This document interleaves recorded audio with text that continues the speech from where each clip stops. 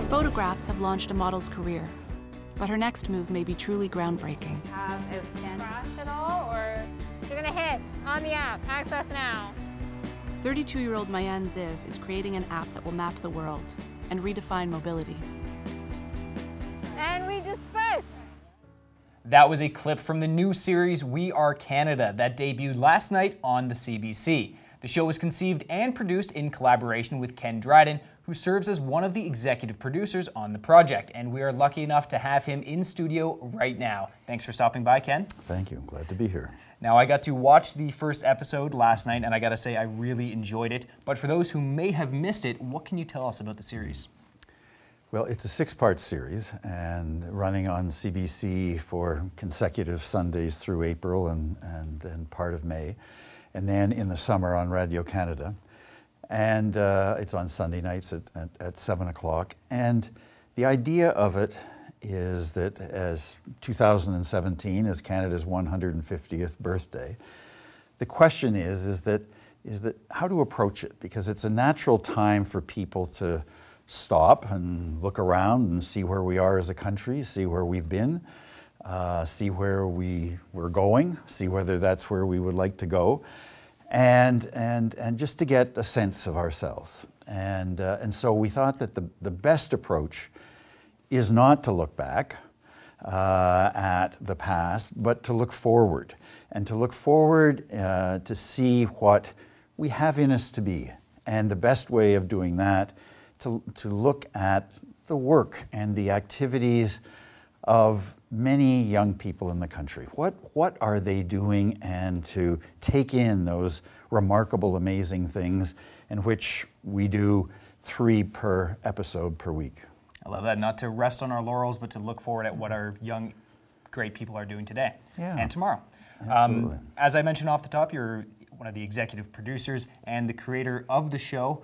But what was the catalyst for creating this project? Well, it started at least five years ago uh, in my mind when I, when I was I had been a member of Parliament, uh, and I approached McGill with the idea for a course, and and I, I wanted to call it Making the Future.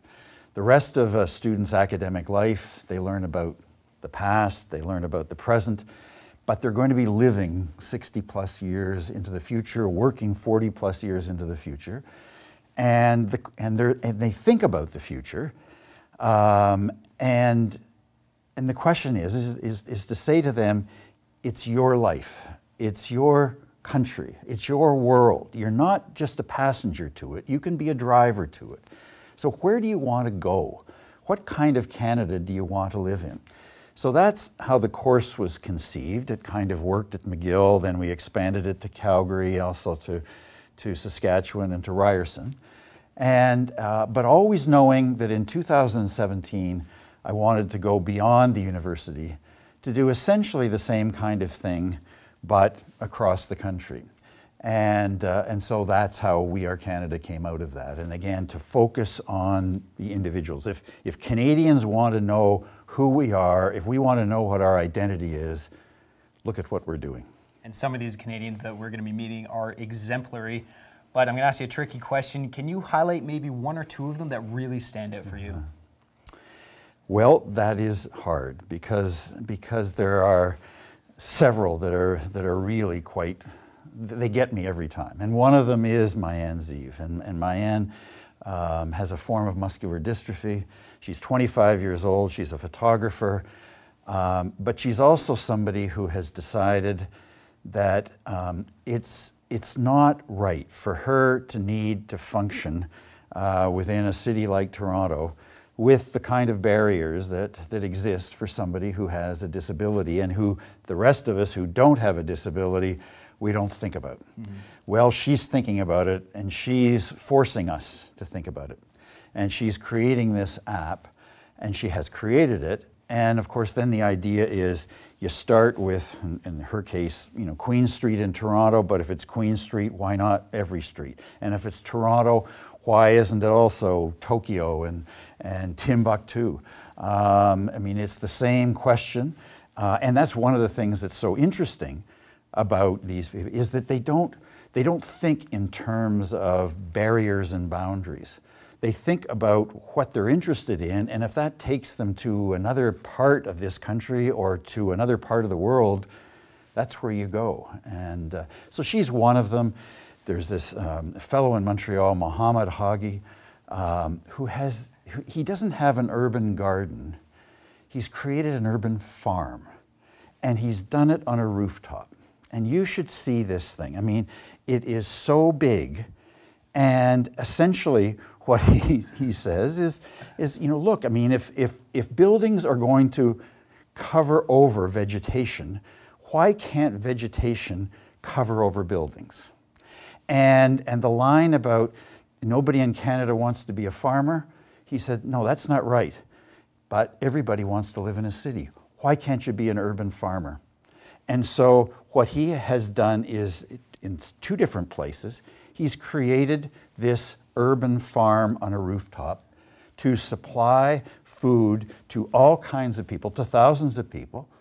And, and now you look around, I mean, the thing that amazes me now is that I can't see a flat roof anymore without seeing a potential farm. I mean, why not every warehouse? You know, it's not a bad not? problem to have. yeah, no, it's quite terrific. And, and just down the line, there are just, you know, so many that are really very interesting. Why is it so important to showcase these individuals? Um, because I think, I think a few things. I mean, one is that they, they deserve to be seen. They deserve to be taken in. Um, one of the things that's so terrific about them is that they are so absorbed in what they're doing, they're not self-absorbed. Um, there are very, you know, that, that our least attractive feature for all of us is that once we start to become self-focused, when it becomes all about us, and if it's about us, then for anybody else, who cares? You know, you, you're making it all about you, so it's not about me at all. Well, these are people who are so interested in what they're doing that that's what their focus is. And, and you can see their fascination, um, and you, can, you start to see their possibilities. And that's quite terrific because it, it gives all of us an idea of, of what's in us, you know, what might be next. Um, where might we go, you know, with, with all of this? And, uh, um, and, they're, and they're just, they're, they're inspirational without any kind of orchestrated inspiration. Mm-hmm. I mean, they just do, and you watch them do, and you can't help but be inspired. That's what I was going to say. Is that watching this show has already inspired me, seeing what these three people so far in the first episode are achieving. But what do you hope uh, the rest of the public gets out of this? Well, I, again, I think it's just a, a sense of, of, of, possibility, and it's, and it's possibility in terms of what Canada might be, but it's also possibility in terms of what they themselves might do. I mean, these are people who when you look at them, you don't say to yourself, oh, you know, impossible, look at them. I mean, they're, they're freaks essentially, and, and I, I'm not like them. I can't be like them. I'll never be like them.